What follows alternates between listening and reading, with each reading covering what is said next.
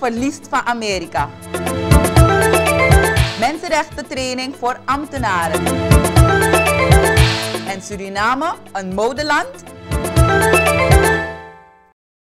Goedenavond en welkom bij een nieuwe aflevering van het Jeugdjournaal. Ze hebben het jammer genoeg niet gehaald. Onze U20 voetballers gingen kansloos ten onder in hun eerste wedstrijd in Guatemala. De Verenigde Staten kwam met een ijzersterk team op het veld. De meeste jongens zijn professionals en spelen in grote clubs. Daarom gingen de goals er makkelijk in. Bij de rust stonden we al met 3-0 achter. Daarna kwamen we sterk terug, maar door de rode kaart van Ilunga Eduards was de wedstrijd een verloren zaak. Morgen speelt Suriname de tweede en laatste wedstrijd tegen Panama. Als we die wedstrijd winnen, maken we nog een kansje om door te gaan naar het WK in Colombia. Na wekenlange training was het zover, het slagbalkampioenschap voor basisscholen. Dat werd vandaag gehouden in het Dr. Snelle Park. Een bal, een knuppel en flinke conditie. Daar draait het vandaag allemaal om. Zeven basisscholen streden tegen elkaar voor een plekje in de halve finale. Dit is georganiseerd voor de kinderen van alle lagere scholen die uh, aangesloten zijn bij het project lichamelijke opvoeding.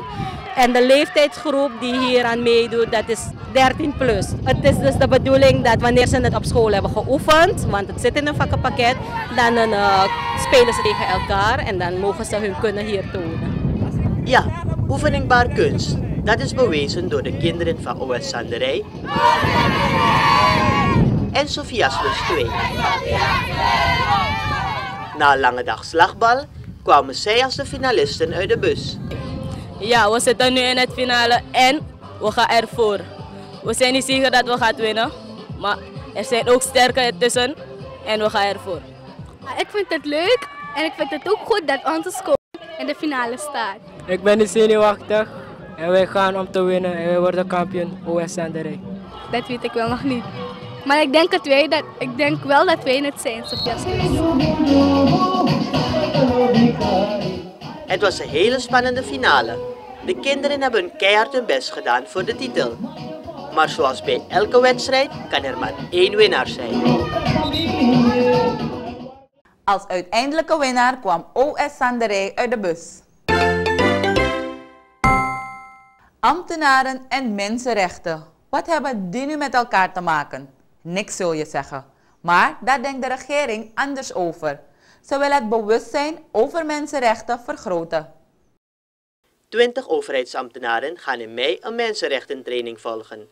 De cursus wordt georganiseerd door het Limapo Instituut voor Social Studies. Mensenrechten. Wat zijn dat nu eigenlijk? Mensenrechten zijn uh, dingen dat mensen mogen doen. Bijvoorbeeld kinderen hebben recht op onderwijs. Het zijn gewoon rechten die de mensen hebben. Dus ze hebben, iedereen heeft recht op wat iets goeds. Dus. Mensenrechten, daaronder versta ik uh, dingen waarop mensen recht hebben in ons land.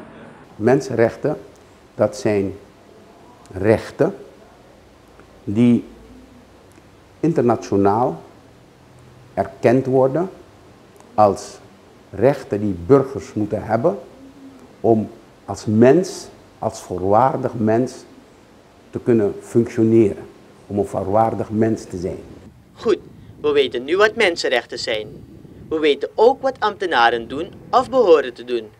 Maar ambtenaren die een training mensenrechten volgen, is dat nu echt nodig? Ik vind het eigenlijk wel goed dat ambtenaren cursusrechten gaan krijgen. Ik zou het beter vinden als leerkrachten ook een, een cursus zouden volgen. Want soms weten ze echt niet hoe, ze, hoe om te gaan met rechten van kinderen. Ik vind dat ze het hard nodig hebben. Want vaak genoeg heb je van die situaties waarbij je naar sociale zaken gaat om bijvoorbeeld een of andere zaak te regelen. En die mensen, ze begrijpen je gewoon niet. De meeste van ze zitten gewoon op hun post. Je hebt meestal ook discriminatie dat ze een bepaalde etnische groep voortrekken en zo. Zo'n training vind ik heel geschikt, vooral voor politieagenten. Want de politieagenten zijn veel in aanmerking met mensen. Dus zij gaan veel om met, met mensen. Uh, ik heb een situatie meegemaakt waar een agent uh, heel hardhandig heeft aangepakt, terwijl dat helemaal niet moest. Als je leert hoe je, welke rechten een verdachte heeft, dan zal je als politieman ook anders met hem omgaan. Dus het zal niet de onmiddellijke beleefdheid zijn van u aan het CBB-loket, maar het is wel de manier waarop met een verdachte of een arrestant of uh, whoever that may be wordt omgegaan. Ik denk dat het bij leerkrachten wel voor verandering zou zorgen, maar op overheidskantoren zoals sociale zaken, binnenlandse zaken, denk ik niet echt dat het voor verandering zou zorgen. Liever krijgen die, die ambtenaren een cursus een, een, hoe, een, hoe, hoe ze moeten omgaan als ik bij de balie sta, qua vriendelijkheid betreft, dat soort dingen. Zo te horen zijn er nog wel meer cursussen te bedenken voor ambtenaren. Maar mensenrechten is een goed begin. De training over mensenrechten duurt acht maanden.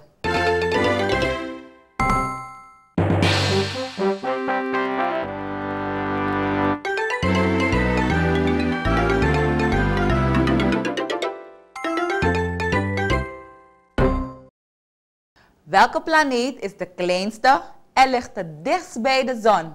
Weet je het al? Juist ja, planeet Mercurius. Je hoort daar bijna nooit van hè? Maar nu, na zes jaar onderzoek, is er eindelijk een foto van de planeet. Dit is het zonnestelsel met de verschillende planeten die daarbij horen. De grootste planeet is de zon en de allerkleinste is Mercurius. Voor de onderzoekers van de Amerikaanse ruimtevaartorganisatie NASA is het na zes jaar gelukt eindelijk een foto van Mercurius te presenteren. De foto's zijn gemaakt door het ruimtevaartuig The Messenger. Mercurius staat van alle planeten het dichtst bij de zon en is drie keer zo klein als de aarde. De planeet is erg lastig te bereiken, want in de buurt van de zon is het verschrikkelijk heet. Daarom is er maar weinig over bekend. Het komend jaar zal de satelliet meer dan 75.000 foto's maken van Mercurius. Daarmee hopen onderzoekers meer te weten te komen over de planeet. Een broek, een jurk, een shirt, we dragen het allemaal. Maar voor de echte grote mode moet je in het buitenland zijn. Surinaamse modeontwerpers willen dat veranderen. Vanavond komen ze bij elkaar om daarover plannen te maken. Suriname als modeland. Het klinkt nog een beetje gek, maar als het aan ontwerper Michael Kiwasen ligt, komt daar snel verandering in. Het begint bij tekenen. Zet op papier wat je denkt dat je zou willen ontwerpen. Het creëren, daarbij begint het. Ik ontwerp voornamelijk voor heren. En um, de naam zegt het al, Agama. Je moet je eigenlijk in alle omstandigheden op je gemak voelen in mijn kleding. Ik denk dus, dus dat dat juist het compliment is, dus dat men het niet kan vergelijken. Dat men niet kan zeggen van dit is van Suriname en dat is van het buitenland. Uiteindelijk door de stoffen, door de stoffenkeuze, dan zou je moeten kunnen zeggen dat is, heeft een Surinaamse flavor erin. Surinaamse modeontwerpers zijn vast van plan om Suriname als modeland internationaal bekend te maken. Het kan ook een, een deel van de economie betekenen van Suriname. Want in het buitenland is um, fashion is a million dollar business.